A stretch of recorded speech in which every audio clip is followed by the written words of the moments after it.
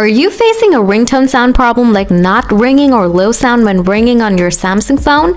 Don't worry guys, here are the top 4 solutions to fix the ringtone problem on your phone. So let's dive in. Before doing anything else, first open the dialer, type star hash 0 hash. Then tap on the speaker option for 3 times and check your volume whether it works or not. If it works, then there is no hardware issue. After that, make sure these basic things. Make sure to volume up the sounds, turn off silent mode, turn off Bluetooth devices, turn off Do Not Disturb mode, clean your speaker with a soft brush and a thin cloth. After that, follow these advanced solutions. Solution 1. Balance the phone speaker volume. Go to the settings again, then scroll down, tap on accessibility. Next, tap on hearing enhancements.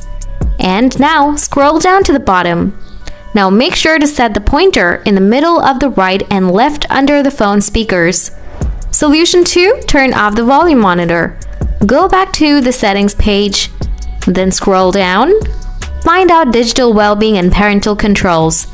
Tap on it, then scroll down again. Next, tap on the volume monitor. After that, tap on three dots icon from the top right corner tap Use Volume Monitor. Simply toggle it off. If still you have the same issue, then follow my next solution. Solution 3. Check your software update. Go to Settings again, scroll down, tap Software Update, then tap Download and Install. If you have any updates available, then install it. Solution 4. Reset all settings.